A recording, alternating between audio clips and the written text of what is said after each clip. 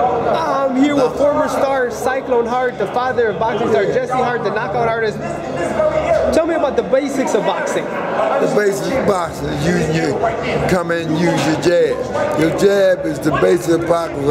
Your jab puts you in all kinds of positions and use your right hand and left hook.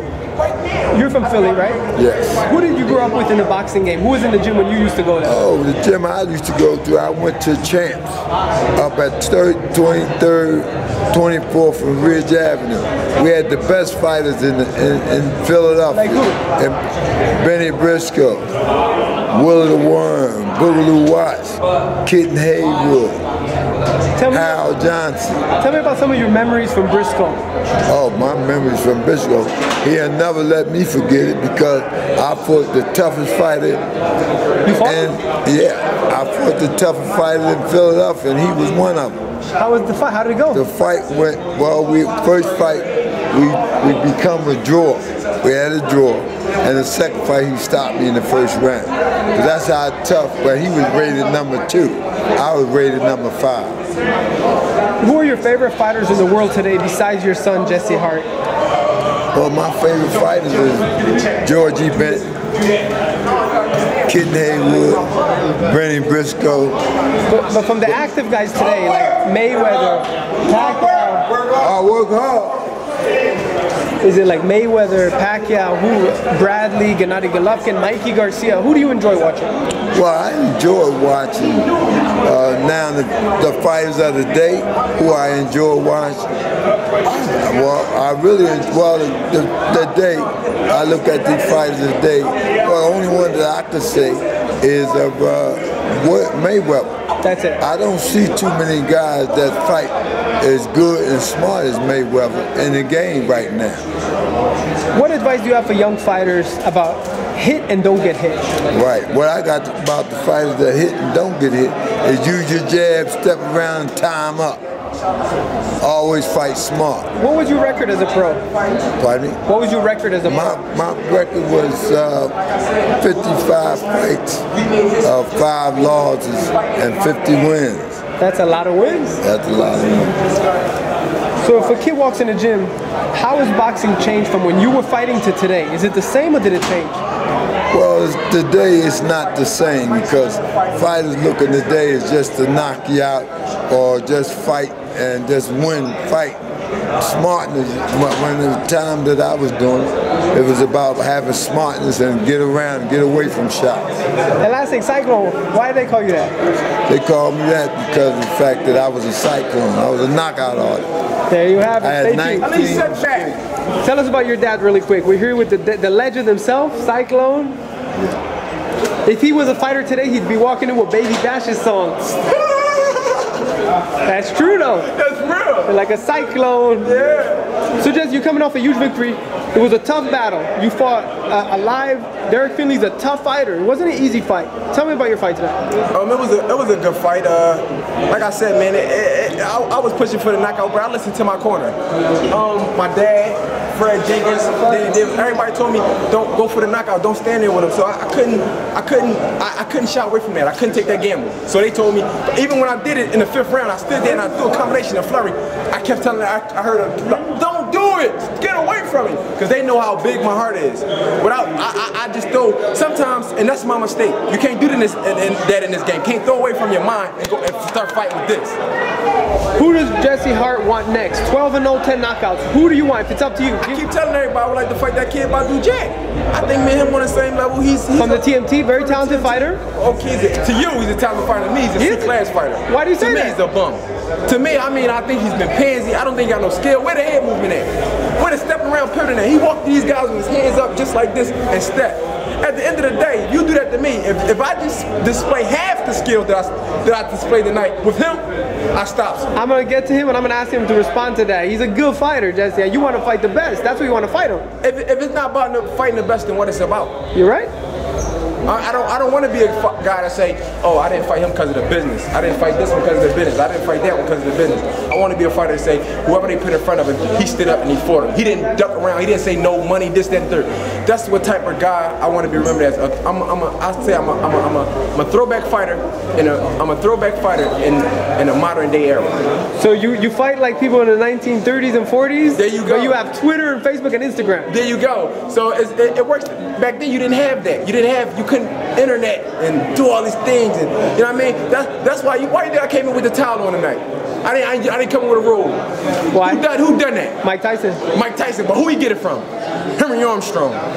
Throwback fighter. You remember when Armstrong used to fight? that's what the towel symbolizes. Throwbackness. We don't want. We not. We not coming to cute, flashy. We coming to get the job done, get him out of here, and go and go home. Jesse, you have the personality. You're very outgoing. You could be an actor. You could be anything. Why a boxer? Why boxing? Because it's in my bloodstream. I, I didn't. This not something that chose me, or I. I mean, this not something that I chose. This something that chose me. It's in my blood. It's in the DNA. I couldn't be. I, it, it, if I would have went to something else, I would have been happy. If I was a guy behind a desk or with a tie on and suit, I could have been anything. I had all the options. My dad put me through college with boxing. I could have been anything. But if, if, if I was behind a desk, I wouldn't be happy. I'm happy with what I'm doing. It's in my blood, and the heart name will forever live on. You got to remember that. My dad created it. He threw the gloves in the crib. The streets, speaking of the crib, the streets of Philly, some of the toughest streets in America, maybe in the world. Tell me about growing up in those streets. Man, it, Malik Scott tells me Oh. stories. God. You know, B Hop Oh, tells me stories. God. My brother, my brother right here behind me. You gotta understand, we come from North Philly, the toughest part of Philly there is. Why And, and, and, and if I, and, and if, I mean, it's, it's been around me. I lost my brother to the streets. I lost my brother, you gotta understand. So that's extra motivation. What was his name? My brother name was Damon Williams. They called him Chino. But at the end of the day, man, he was. I'm, I'm, I'm sad. I get choked up talking about him because he ain't here. But um, man, shut up, shut up. I wish my bro was here, man. I, the, the streets of Philly took my brother. So you're one of the best fighters from there right now. We have Danny Garcia. We have yourself. Who else do we have in Philly coming up? We have myself. We have Danny Garcia, Brian, Bryant Jennings. Brian Jennings, tremendous, tremendous heavyweight that will be pinned on the uh, uh, uh, best talents tonight. And B-Hop still doing his we thing? Have, we have Hassan Young. We have Damon Allen, who's going to be a spectacular superstar.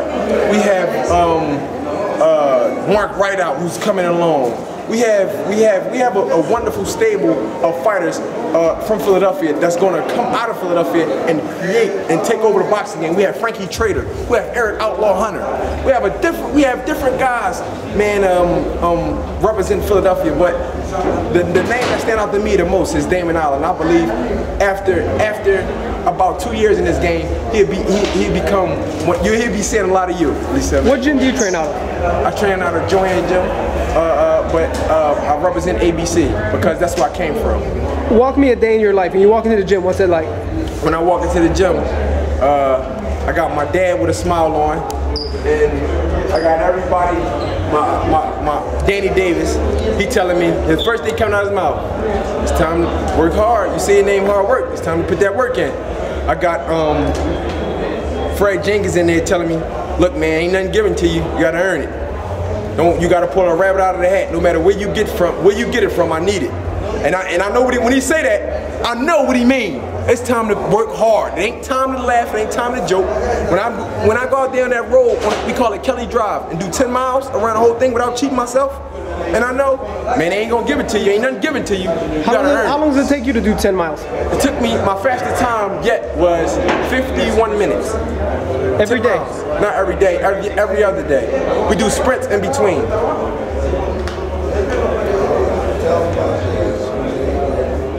Man, he asked me a question. Go ahead. Oh, no, no. What was you that one? No. Yeah, but at the end of the day, man, I just think, man, I'm going to be the future of boxing. Lisa, back, you got to understand. I'm a throw, like I said, I'm a throwback fighter. Like I said, with the tutelage, with the tutelage of Bob Arum, top rank himself, and my management team, D&D management, Dave Price and Dr. Wiki, you got to understand. That's that's the whole. That's the whole. I'm, I, I want to be large. I want to be the best boxer, but I want to be larger than boxing. I, I want to bring the sport back to say Ray Robinson, a Sugar Ray Robinson days. Okay. You're a knockout artist. If you had to knock me out, how would you do it? Would you If I go for a jab, body shot, hook, I had to knock you uppercut? Here, hold this for a second. If I had to knock you out, If you had to knock me out, but don't knock me out. If you to. If I had to knock you out, at least step back. Yeah. Why? You're too good of a guy. You got jokes. Couldn't do it. You got jokes. Couldn't do it. So Hart, look out for the future of boxing. He works hard. He's out of Philly. People want to follow you. Where do they go?